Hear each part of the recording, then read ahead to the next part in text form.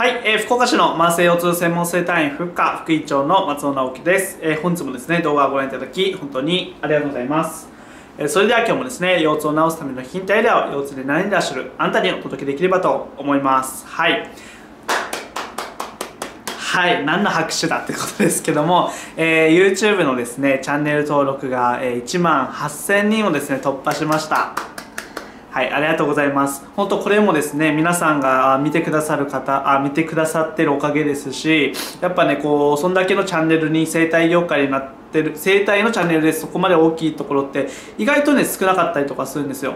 中にはもっと上はいますけどやっぱ1万8000人っていうのはかなりですね大きい数になってきてますのでやっぱ責任もあるなっていうふうに思ってますのでこれからも頑張っていきたいなと思います。はい。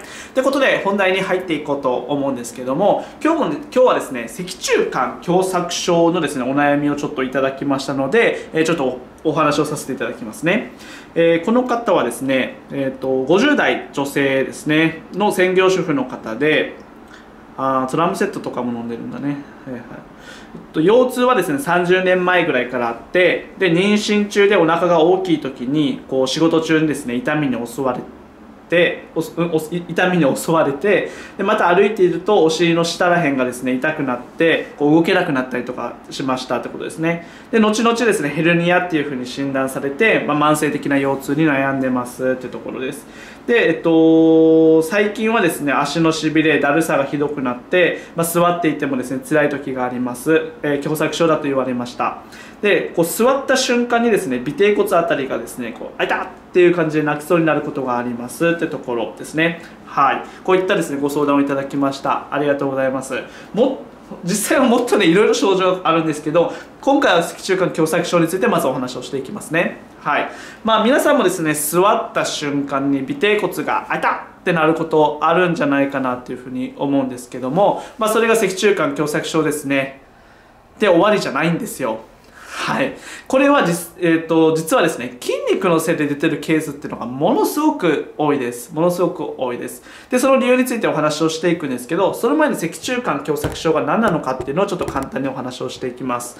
脊柱管狭窄症っていうのは、まあ、こんな感じで骨があるわけなんですけどその骨同士が構成したですね管みたいなのがここにあるんですよね管その中にこの赤色で表示してる神経っていうのがあるんですけどこの管が何かしらでですね狭くなってしまうことによって、えー、痛みが出るっていう方あるいはしびれが出る方っていうのが脊柱管狭窄症は多いです。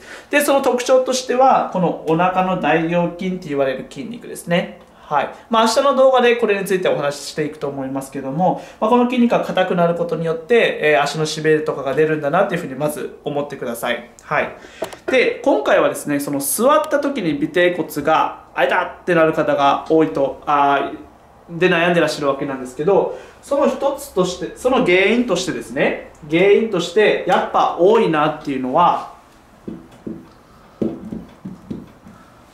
はい、お尻の筋肉ですね。お尻の筋肉が原因で、えー、座った瞬間に開いたっていう方が多いです。でそれがじゃあどこなのかっていうとはいこちらですね。あーごめんなさい。ちょっと待ってね。はい。こちらですね。見えるかな？はい。大臀筋って言われる筋肉ですね。大臀筋。はい。まあ、いわゆるですねお尻をポンって触った時に触れる筋肉ですね。でじゃあなんでこの筋肉が硬くなってきてしまうと、えー、尾骨だったりとかのところにですね痛みを出してしまうのかっていうともうちょっと見ていただきたいんですけどはい見えるかな？ちょっとボケてるかな？はい。このね尾骨のちょうどこの部分にですねこの部分にこう大臀筋でこうやってあるわけなんですよ。こんな感じでついてます。ついてます。で、座った時ってその大臀筋ってどうなってますか？伸ばされてますよね。はい。伸ばされてます。じゃあ実際にどういう状態かっていうのをちょっと一緒に確認していくんですけど、はい。大臀筋って、まあ、ここに、あ、ごめんなさい。ここにあるわけなんですが、座るってことはそんだけこの筋肉って伸ばされるわけなんですね。なので伸ばされるにはそれだけの柔軟性っていうのが必要になってきます。なんですけどこのお尻が硬くなってきてると硬くなってきてるとこういうふうに座った時にですねここのさっきの尾骨の部分っていうところがピーンって引っ張られてしまいます。座ることによってピンって引っ張られる。それによってあたって痛みが出てる方が非常に多いです。なのでここをですね柔らかくしてあげるだけでこの座る時の症状っていうのが楽になる方っていうのは多々いらっしゃいます。なので今日はですねその方法っていうのをお伝えできればと思いますので、えー、ぜひ一緒にやっていただければと思います。はい。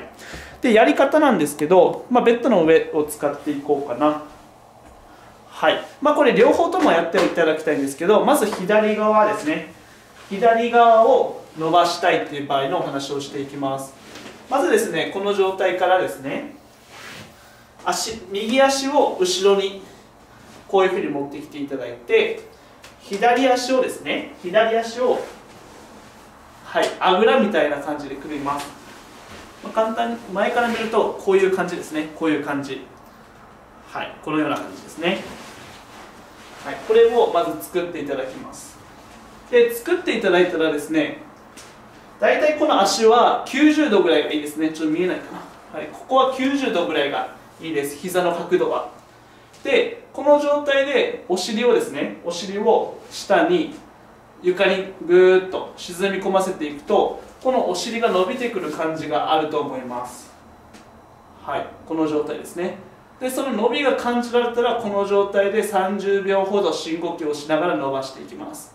1 2 3 456っていう感じですね。でこの時ポイントは必ずですね痛くなりすぎないようにすること。痛気持ちいいなぐらいですね。はい。でやってあげてください。次反対ですね。右を伸ばしたい場合は左足をこのように持ってきていただいてこっちの右足をはいこんな感じですね。こんな感じ。でこの状態で、えっと、下に真下に体重をぐーっと下ろしていきます。はい。でこの時にですねこの骨盤が片方だけこういう風になってたりとかしてしまうと意味がないのでこのお尻はですねまっすぐまっすぐですねこう傾けないってこと。まっすぐ下に下ろしていくような感じですね。はい。まあ、お尻の伸びが感じれてたらそれで大丈夫です。はい、この状態でまた同じように30秒ほどやっていきます、はい、こうすることで尾骨の部分だったりとかの大臀筋っていうのが伸ばされてますので。はい、っていう感じですね。でこれをするともうお尻が痛くてできません。とかさっき膝曲げましたけど膝が痛くて曲げれません。っていう方もいらっしゃいますのでその方はですね椅子を用意してください。椅子。はい。椅子を用意していただいて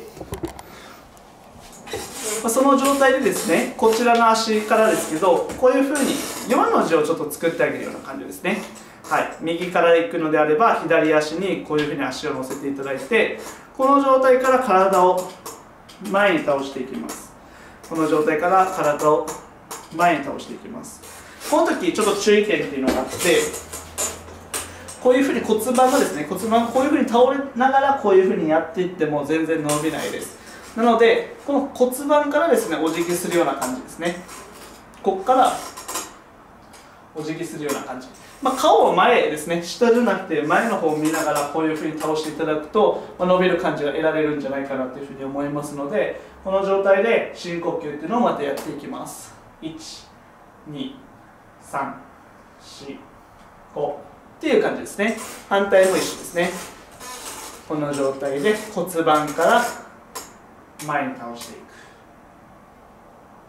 はい、このような感じでやっていただければこのお尻っていうのが伸びてきますので、えー、やっていただければと思います、はい、そしたらですね今日の話をまとめていくんですけど、えー、座る時に尾骨の辺りが開いたってなる人は大臀筋というお尻の筋肉ですね。っていうのが硬くなってることによって座ることによって伸ばされてしまって痛みが出てます。なので今さっきのストレッチをやっていただくことによって、えー、痛みっていうのを経験するケースっていうのは多々ありますのでぜひやっていただければと思います。はい。そしたらですね今日はこれで終わるんですですけども、まあ、今日この動画がですね、ためになったなって思う方はですね、グッドボタンを押していただいて、えー、チャンネル登録ですね、またしていただければ嬉しいです。で、あるいはですね、慢性腰痛脳サメの本、こちらありますので、興味がある方はダウンロードしてみてください。また明日から、えー、脊柱、脊柱管狭窄症に対する、えー、ストレッチの方法だったりとか、症状が戻ってきて、来てしまいますという方にですね、向けた話をしてますので、また見ていただければと思います。はい。そしたら今日はこれで終わります。えー、本日もですね、動画をご覧いただき、本当にありがとうございました。